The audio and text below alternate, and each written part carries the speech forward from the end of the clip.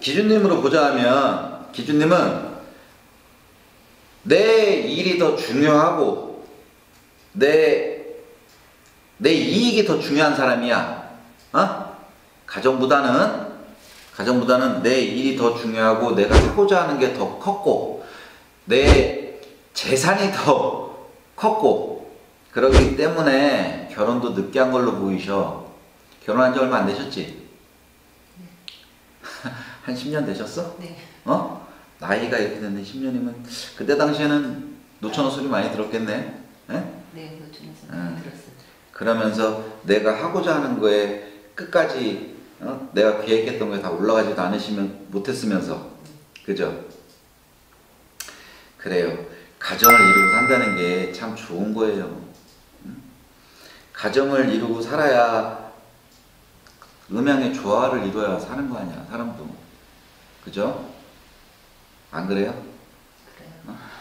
근데 남편을 잘못 만났다 소리가 나와. 어? 남편분이 술을 참 많이 좋아하세요? 네, 좋아요. 술만 먹으면 사람이 변신을 해? 네. 어? 술 먹으면 사람이 변신하는 건 누구든지 다 마찬가지예요. 하지만 이 대주로 보자면 화가 너무 많아. 화가 너무 많은 사람이고 이분은 누구를 해할 수도 있는 사람이에요. 그러다 보니 밖에서는 내 사업을 한다 쳐도 그 스트레스를 밖에서 풀고 들어와야 되는데 집안까지 갖고 들어오시는 분이 이분이셔. 네, 정확하세요. 그러다 보니 집에 와서 그 화풀이를 기준님한테 하시는 게 이분이라 하세요. 네. 응? 그러다 보니 기준님 이혼 때문에 오셨어? 이혼하고 싶어요.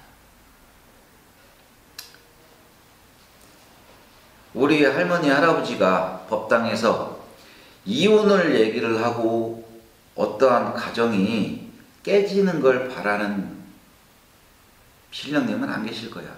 어떠한 신령님이시든지 간에 가정을 이루고 사는데 그 가정을 깨뜨리고 싶은 분은 안 계실 거야. 하지만 하지만 두 분은 이혼을 좀 하셔. 이혼을 하시는 게 나아. 대주님이 그 화를 못 참고 대주님이 손찌검도 하시고 그러셔? 네. 지금 때가 어느 때인데 21세기에 손찌검 하는 사람이 있어. 어? 늦게 가정을 꾸리고 살았는데 행복하게 살아도 모자랄 판에 어떻게 골라도 이런 사람을 골랐어. 어? 기준님이 어디가 모자라서. 어? 내가 결혼한다 치면 기준님이 결혼한다 치면 남자를 구한다 치면 줄을 세울 수도 있을 텐데 어? 어떻게 골라도 이런 사람을 골랐어 그래. 알구나 해. 그때 알았으면 이 사람과 결혼을 했겠습니까마는 응?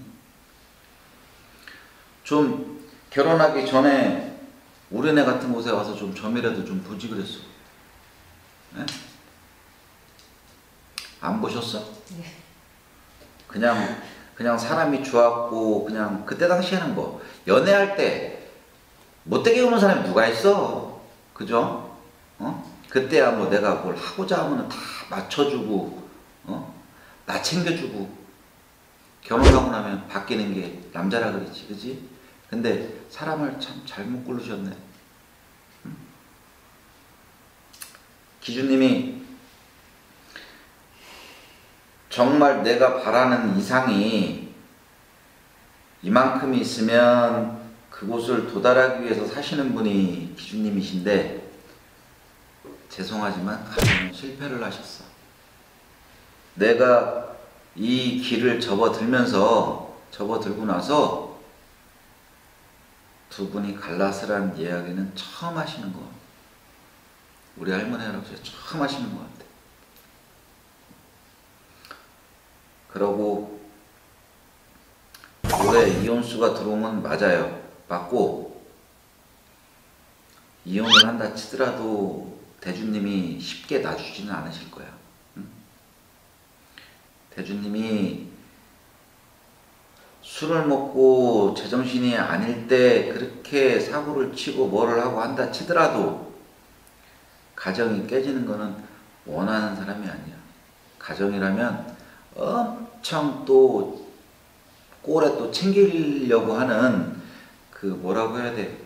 그 남자의 의무, 아이 이렇게 표현하면 안 될 것 같고 또 그 내 가정에 이 집안 자체가 그냥 그냥 내 본처를 버리면 재받, 재받는다고 생각하는 집안이야.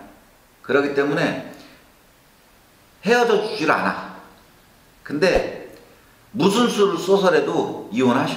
그래야 기준님이 살아. 잘못하면 잘못하면 기준님 이 세상 사람 아니세요. 지금도 지금도 우울증 있으시지. 약 드셔? 약 먹는 정도는 아닌데요. 병원 가서 약 좀 처방 받아서 약 좀 드셔. 그 약을 먹고 한다는 게 나쁜 건 아니에요. 어? 내 몸 상태가 이러니까 어? 그 몸 상태 컨디션 좀 끌어올리셔. 어? 그러다가 진짜 사단 나시겠어. 아셨어요? 어? 하고 잘 평상시에 기분 좋을 때, 응? 야 기분 좋을 때 이혼서를 찍어주세요. 이것도 아니잖아. 뭐라고 어떻게 해야 돼? 응? 아, 이 사람은 자존심이 무지하게 센 사람이거든. 그러니까 살살 긁어. 어? 어떤 식으로 긁냐 하면 누구하고 이렇게 빗대어서 비교를 시켜. 어? 그러면 이 사람 자존심이 상해서라도 홧김에 이혼 도장 확 찍어줄 수 있어.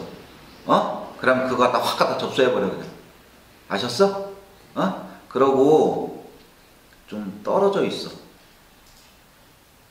두 분이서 부부의 합도 들은 사람들이 아니야. 어? 근데 지금까지 사는 것만 해도 참 용해. 결혼 딱 시작하고 나서 한 지붕 아래 살면서부터 이 사람은 변했어도 그때부터 완전 변했던 사람이야. 어?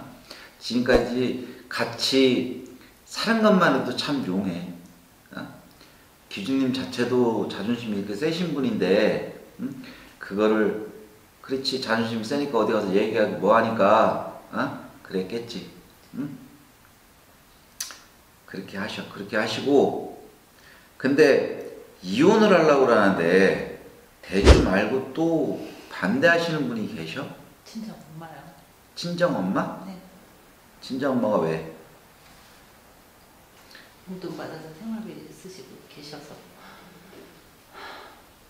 용돈으로 그냥 생활비 받아 쓴다고 딸내미 속사정은 헤아릴 생각도 안 하고 그냥 반대를 하신다고?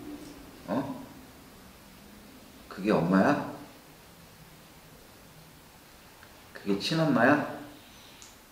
그 친정엄마한테 이런 얘기 다 못 하셨지? 네.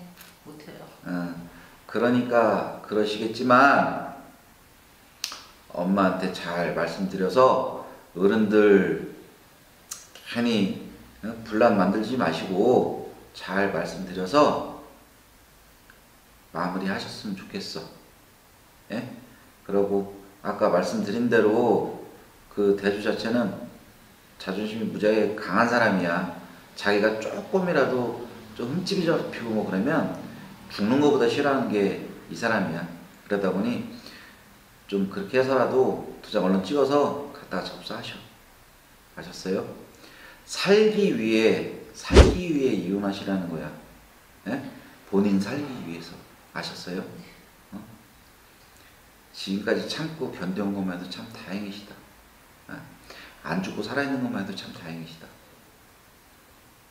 결혼 결혼 생활하면서 참 행복하기만을 바랬을 텐데 그런 생활을 해보지도 못하고 아픔만 갖고 가셔서 두 번 다시는 가정을 꾸리고 싶은 생각이 전혀 없으시겠네. 참. 에이, 본인이 본인이 갖고 있는 그 팔자처럼 일에 파묻혀 사셔. 그러다 보면 좋은 사람도 나올 거예요. 나타나고 마음에 드는 사람 나타나고 내가 내 아픔 감싸주고 보듬어주고 할 수 있는 사람이 있을 거예요. 그러니까 일에 파묻혀서 사셔. 좀 잊어버리고 아셨어? 그러고 이 점사 끝나고 나면 내일이라도 병원에 가셔서 꼭 진찰을 받아보시고 약을 타서 꼭 약 좀 드셔. 아셨어요? 본인은 저는 아직 뭐 약 먹을 때는 안 됐는데요. 그런 생각하지 마시고 가서 그렇게 사시죠. 아셨죠? 네. 잘 마무리 되길 빌을게요. 아셨죠? 그리고 뭐 내 도움이 필요하다 하면 언제든지 연락하셔. 아셨죠?